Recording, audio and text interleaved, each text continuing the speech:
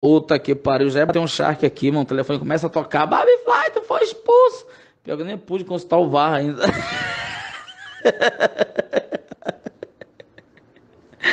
Mano, a parada é a seguinte: o PDT argumenta que eu nunca levantei a bandeira do partido, que eu nunca defendi o partido na tribuna da Câmara. Mas a verdade é que o PDT queria que eu ficasse pressionando o prefeito Daniel de Nanindeua a dar cargos políticos para o partido. Queria que eu ficasse é, cobrando o prefeito para colocar o PDT no governo.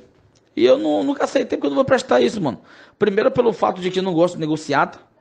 Segundo, pelo fato de que eu não gosto de ficar fazendo ponte para ninguém.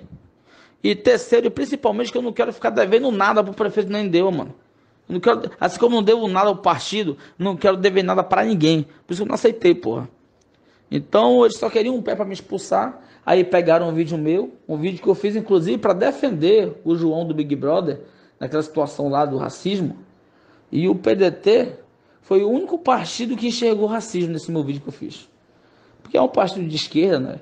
É um partido muito ligado à defesa da classe LGBT, defesa do, da, da, da, causa dos negros, né? Só que às vezes eles entram numa militância desenfreada e exageram.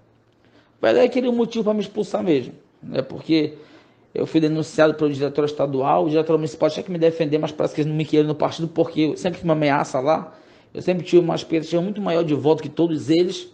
Então lá já tem candidato federal, tem candidato estadual, então sempre foi uma ameaça para eles. Então eles queriam que fosse expulso. Aí você o que? Fui expulso e estou muito feliz. Porque o PDT sempre muito mais atrapalhou do que ajudou minhas pretensões políticas, mano. Agora eu tô aí, agora eu posso ser federal e para voar, mano. Eu caí para cima, mano. Já diz o filósofo, todas as coisas cooperam para o bem daqueles que são foda. Foda! Agora deixa eu bater um chave aqui.